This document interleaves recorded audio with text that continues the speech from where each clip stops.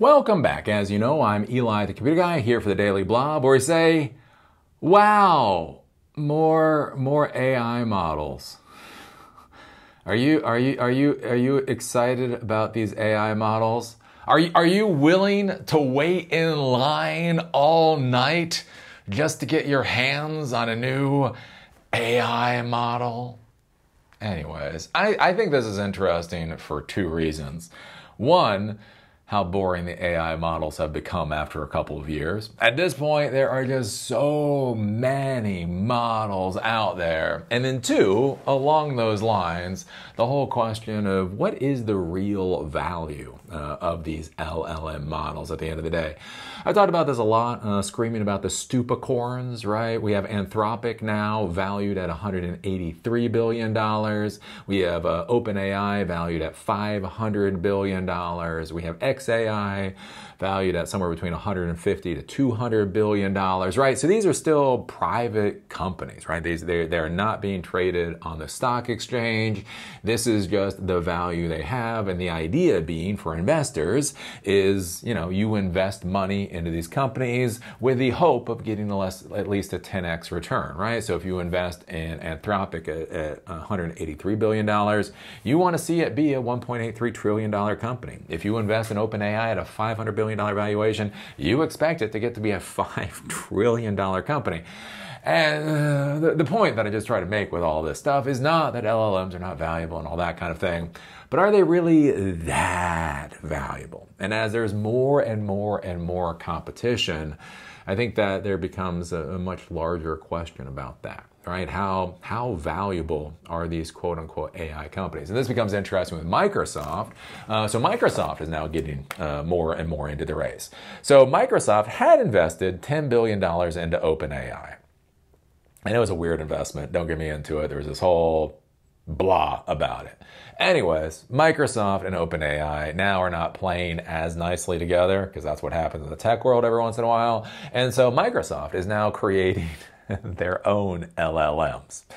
Uh, and so, yeah, we have new two new models uh, that have come out from Microsoft. Microsoft introduces a pair of in-house AI models. It's a declaration of independence uh, from OpenAI. So previously, the concept had been that Microsoft was going to use OpenAI's models to power Microsoft's products. They got into a kerfuffle, the way things go. So now Microsoft is going off in their own direction, which again, there then becomes that whole question is what, what is the value of OpenAI, right?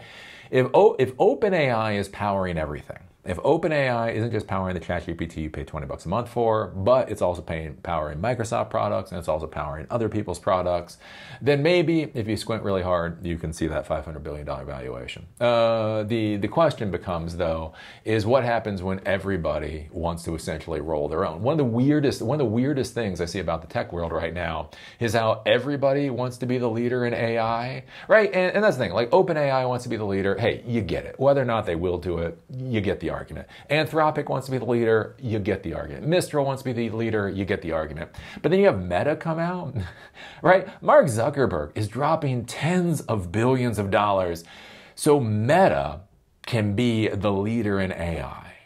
And I've talked with Meta employees and I've talked with people who previously worked at Meta, and I'm just like, what what is the argument here? Right? As a Meta employee whatever, what what is the story you're being told about why Meta should should be the leader in AI. And they have no idea. They, they, they literally have no idea why Mark Zuckerberg thinks being the leader, leader in AI will be valuable. Basically, the concept is, is because AI will be valuable, therefore they're a technology company, and so they should be the leader in AI. But right, but you have this, right? So, so Mark Zuckerberg wants to be the leader in AI, right? They have a communications platform, right? They have Instagram, they have WhatsApp, they have Facebook. These are communication platforms. Do they need AI? Yes, obviously. But do they need to be the leader? No, it doesn't even make sense, right? It's it's not synergistic with with, with their product portfolio. Uh, then you have then you have uh, Tim Cook. Tim Cook comes out and says Apple needs to be the leader in AI. Why? I don't know. Do they need to use AI? Do they need to implement AI into their systems to improve efficiency? Yes. But why, why, do, why do they need to be a leader in AI?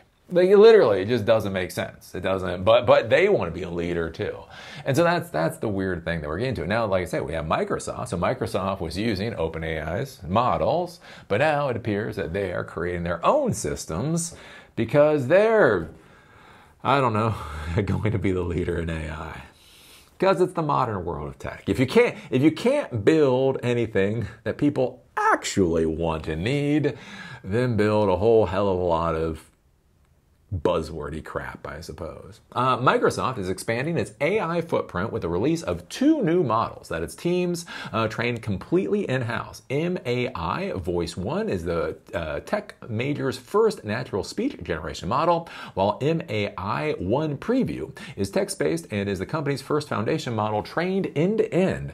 MAI Voice 1 is currently being used in the Copilot daily and podcast features. Microsoft has made MAI 1 Preview available for public tests on LM, uh, LM Arena and will begin previewing it in select Copilot situations in the coming weeks. In an interview with Semafor, uh, Microsoft AI division uh, leader uh, Mustafa uh, Suleyman said the pair of models was developed with a focus on efficiency and cost effectiveness. I do think that this is interesting, especially if you're an investor in NVIDIA. One of the problems that I've seen with AI at this point in time is that there's no efficiency. There is no efficiency involved with so many of these systems, right? Basically, it is burn, burn as much electricity as you want to burn to make this stuff happen. And so, what's curious now is we're starting to see uh, these these AI companies uh, improve uh, the resource efficiency of using AI models and also training AI models.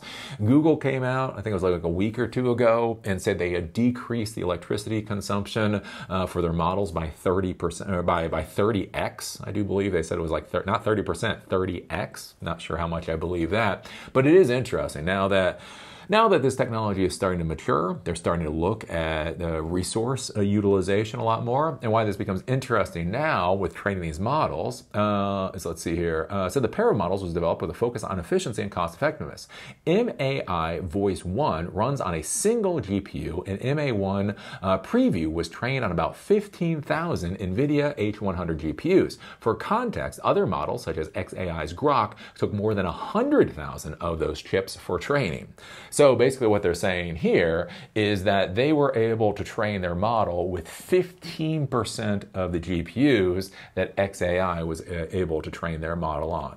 Uh, and so that, that's, that's a real financial benefit, right? If each one of these GPUs is $40,000, uh, you know, needing, uh, I don't know, whatever that is, 85,000 less of them uh, is a hell of a lot less money. What's curious here, right, is they say, quote, increasingly the art and craft of training models is selecting the perfect data and not wasting any of your flops on unnecessary tokens that didn't actually teach your model very much, Suleyman said. So I think this is going to be the interesting thing too going forward with these models is the idea of focusing more and more on what the hell are you training the model on. That's one of the things uh, we had a conversation, we had a fireside chat with David Cox, a VP for AI models at IBM. One of the curious things that he said with the Granite model. So IBM came out with the Granite model. They have a whole series of models. They're open source models over there. But his their, their focus was it was all trained on enterprise like level uh, communications. So the idea is they didn't want the damn thing talking about suicide. They didn't want the damn thing talking about creating chemical weapons or whatever else. And they wanted to be rather professional. So what do you do? If if you want your model to talk about specific things and do it in a rather professional way, then literally training it using things like enterprise documentation, white papers, that type of deal is going to get you a better result uh, for the model that you're trying to create. And so their idea, right, if you're trying to use a model in business communications, it should be safer to use their particular model because of what it's actually trained on. What we saw with OpenAI and Anthropic and Mistral recently recently is that they just train on everything, right? They just have their AI models attack the internet, like literally the internet, try, try to vacuum down the internet. Uh, and then you get what you get out of the models. And so what's curious now is this whole idea of starting to restrict uh, what these models are actually being trained on, and thinking that by restricting, you can massively save uh, resources. Uh, although it's being used to test uh, the in house models, Microsoft Copilot is primarily built on OpenAI's GPT tech. The decision to build its own models, despite having sunk uh, billion dollar investments in the newer AI company, indicates that Microsoft wants to be an independent competitor, another competitor in this space. While that could take time to reach parity with the companies that have emerged as forerunners in AI development, Suleyman told uh, Semafor that Microsoft has, quote, an enormous five year roadmap they were investing in quarter after quarter. So, good news, good news. Yet another major tech company is doing major investments into AI quarter after quarter. So, uh, so you know, you know, this definitely is not a bubble. So I don't. I think it's just a curious thing, seeing more competitors getting it into the AI space, and then starting to think again about how how these AI systems are architected, designed, trained, that type of deal. I've done a lot of videos lately uh, talking about things like Huawei. So Huawei um, came up with a new software to basically determine what storage should be used during certain AI processes, right? The idea is only use expensive uh, memory storage uh, for, for high value AI processes and then shunt it off to, to, to lower value storage for lower value processes. Uh, talking about uh, Alibaba coming up with their inference uh, GPUs or, yeah, uh, processors. Huawei also coming up with new storage systems. And I think that's what, what's becoming interesting now with AI, again, from a, from a systems level standpoint, is thinking about how how to architect and how to how design this stuff, right? Instead instead of just swiping the credit card and burning billions and billions of dollars, how can you start designing things appropriately to to try to try to get a return on investment? And we'll see, we'll see how this works. But it's also going to be interesting, like with NVIDIA, right? NVIDIA is flying high right now. NVIDIA is like a $4 trillion company what what happens to nvidia if simply by designing systems differently they can decrease their their gpu requirements by 85% like that's that's where i get concerned with companies like nvidia. They've just pumped so much money and their value is so based on this hardware. And so much of the hardware utilization is not is not what I would call sensical. So much of the hardware utilization is just because there's so much money going in, and the, the idea is just just burn money in order to deploy systems, and then we'll worry about efficiency later. And so the question that becomes is as more and more companies start focusing on that efficiency, what what then happens to a company like Nvidia? And we'll, we will find out. So put your thoughts, put your thoughts down below. What do you think about uh, Microsoft trying to get into the model race? What do you think about the stupicorns out there? Will they survive? Put your thoughts down below. If you like these videos, give us a thumbs up. If you don't, give us a thumbs down. Call me amazing. Call me a dumbass. Just do it in the comment section. And with that, see y'all later.